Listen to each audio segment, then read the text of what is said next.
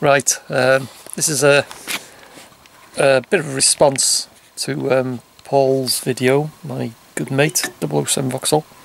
Um, on your last video, your first walk of 2017, and you've seen, and you actually filmed it, crows mobbing, that's what they call it, mobbing a, a buzzard.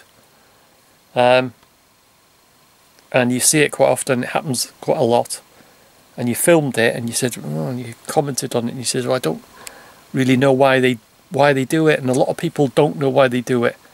Um, because a buzzard, because in a blink of an eye you can just bang, just take out a crow and what have you. And I was going to, well, I was going to sort of explain why in a comment to your video, but I thought I'd do it in one of my own videos and that gives me a an excuse to have a cold one. Not that I need one. So yeah, this is why crows mob buzzards and other birds of prey. Crows are very territorial and they're very aggressive birds. Any of, any of the crow family are noted for mobbing, they call it, you know, uh, and they always do it in a big flock. They'll all gather together.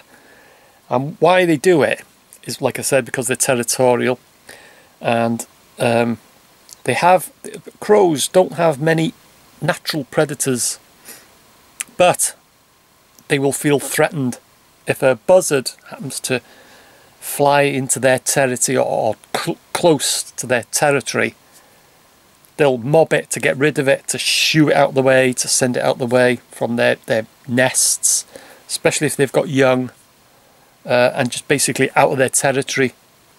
And that's what, what it is, they're very territorial crows. And it's very rare that you'll see a buzzard or another bird of prey, well, especially buzzards.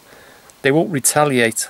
They'll just sort of fly around a bit and and then they will just move out of the, the, the you know the area like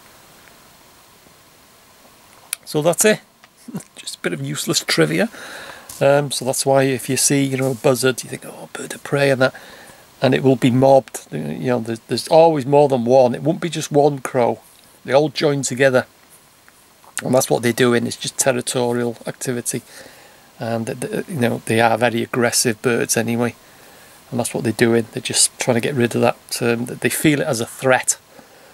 And you know they want it out of their territory away from their nests and their young when they have young and what have you all their, their eggs and things like that.